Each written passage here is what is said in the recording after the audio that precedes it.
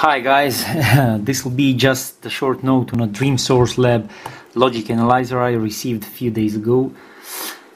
And this morning I tried to connect it and test it. Uh, well, it's connected right now on one of my projects, which is a data logger, GPS data logger.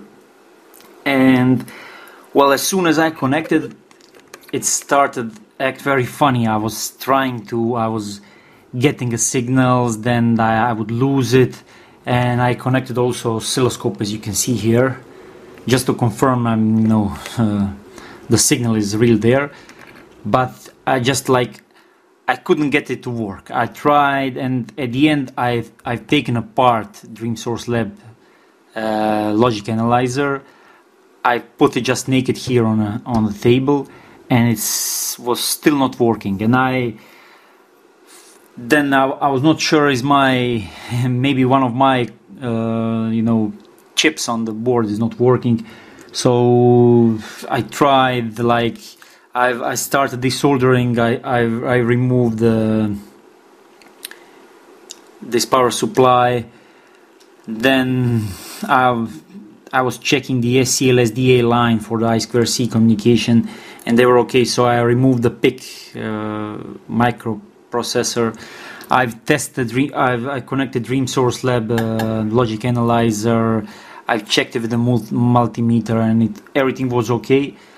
So I was there was no progress, and I, it took me a few hours until I realized that there was something wrong with the harness they're using for connecting uh, logic analyzer to your board. There are like 15 or 16 cables, and well, it it looks pretty nice. There is a there's a header beneath the sticker. If I'm sorry if you can focus this. So there's a header beneath the sticker here, and if you remove it, well, there's nothing much to be seen. Basically, uh, they've just put it in and I think they potted it with some with some gooey stuff. It's well, it's like a glue. And uh, the thing is, when I when I connected to UART lines and when I connected this to uh, I2C lines, and I would like I would sometimes I would get the correct data, but you know it it, it was not working properly and well my data logger was not also responding uh, it was not connecting to the server and and you know. So i was not sure. And after i changed these chips for new ones and i tested it only on oscilloscope and it was working. And also i reprogrammed it you know. I flashed it again. I, I was not sure at the time. Um, then I, I checked this harness and I'll, I'll do it again. I'll try to do it so you can see. So you can see it. I will I will put my multimeter on ohms range. Sorry for the reflection but I think you can see it. And let's test one of these lines. There it's line I don't know can you see it? It's line number three. It's very neatly done and all the lines are numbered. You have a ground cable so if you're if you're doing some high frequency stuff and okay um, so I hooked it. Oops. I'll try to rehook it again. I hooked it like this. So let's check. First let's check that this is working. The multimeter is working. Uh, this is very hard to do it in behind the camera. So yeah this is working. But when you when you hook it like this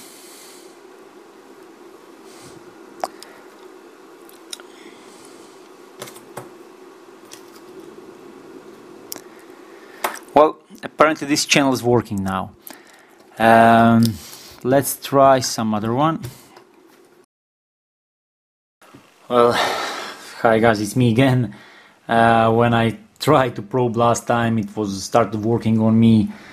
So I reconnected it again to a project I was probing it and um, it was working for a while like for 10 or 15 minutes and after that I I couldn't get the signals again.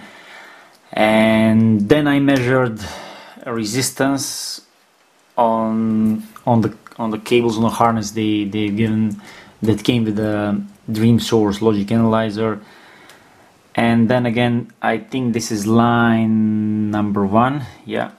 I don't know can you see it here? I've connected I've connected these two probes directly to a, a multimeter. And the multimeter is showing now 1.3 to 1.5 kilo ohms and if I try let me just put my camera down.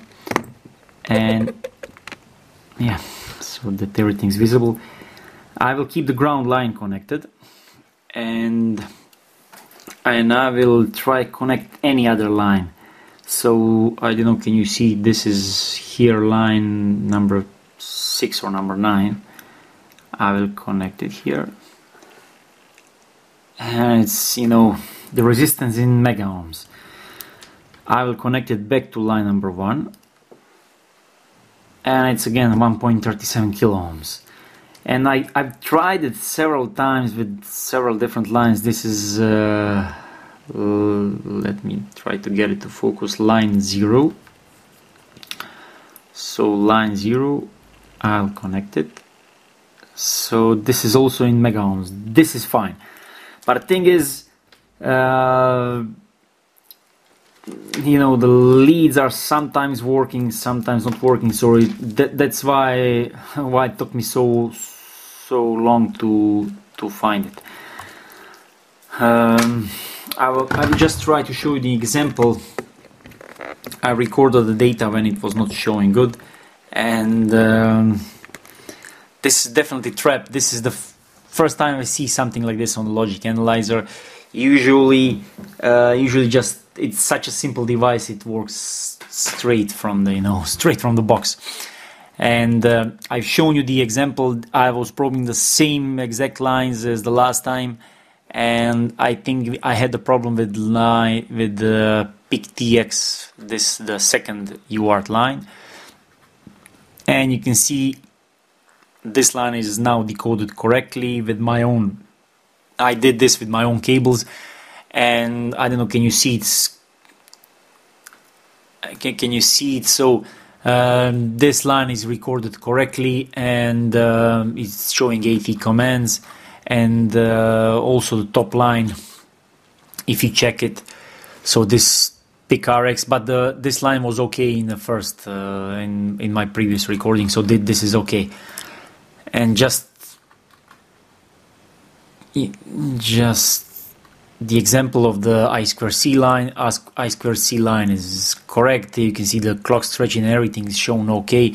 So I think this is this is fine.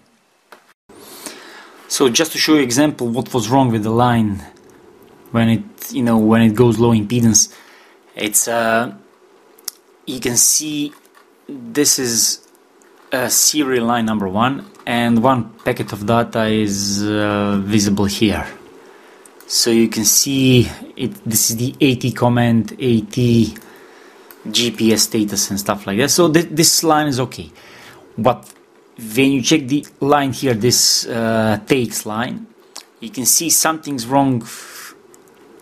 Something's wrong with the something's wrong with the line, and the trigger is not working on it. Uh, the the data, uh, the packages, you know, are not correct when you try to when you try to compare them. Something's definitely wrong.